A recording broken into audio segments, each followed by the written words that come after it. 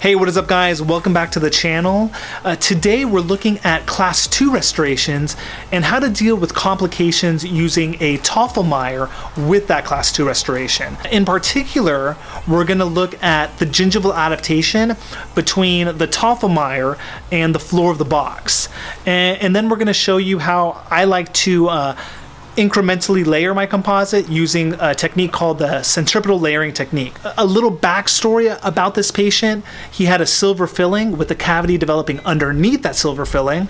So we cleaned it out completely, uh, placed our band on, uh, did something called air abrasion therapy, where we increased the uh, surface area of the tooth by using aluminum oxide, um, and then we placed a Tofflemire on and continued with our restoration. So if you guys have any questions about my technique, uh, please feel free to uh, write a comment down below, and uh, I hope you enjoy it.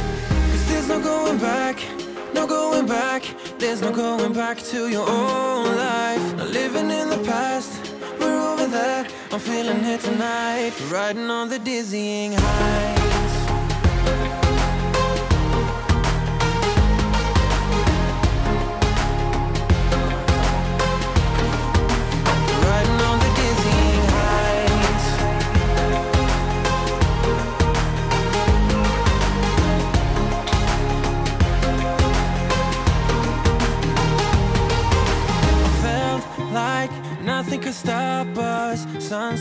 Remember the colors, they were wrong. It was way more than a dream.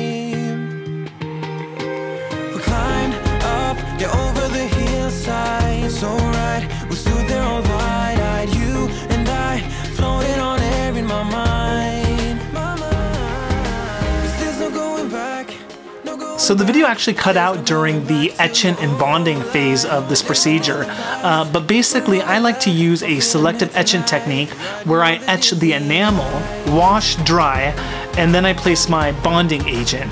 Um, I use Clearfil SE Protect. Uh, it's a two-step system where you place your primer, um, saturate the tooth, dry it, place your bonding agent, saturate, dry, cure, and then I like to burnish the band again to achieve a nice tight contact. Now, in this particular case, when I burnished the band, the adaptation to the floor of the box opened up again. So from this point forward, you're gonna see how I managed this problem um, by placing a little bit of cotton and Teflon into the lingual embrasure space.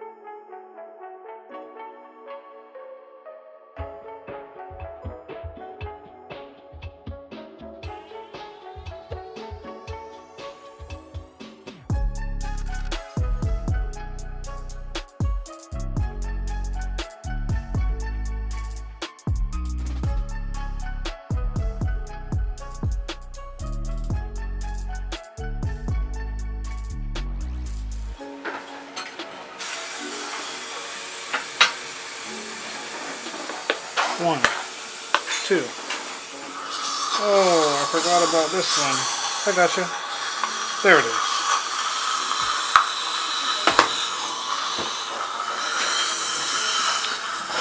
Okay, let's do a final look and then a final polish.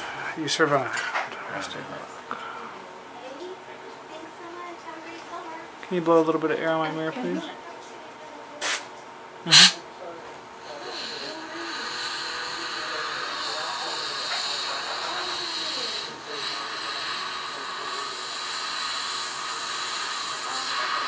You do. Okay.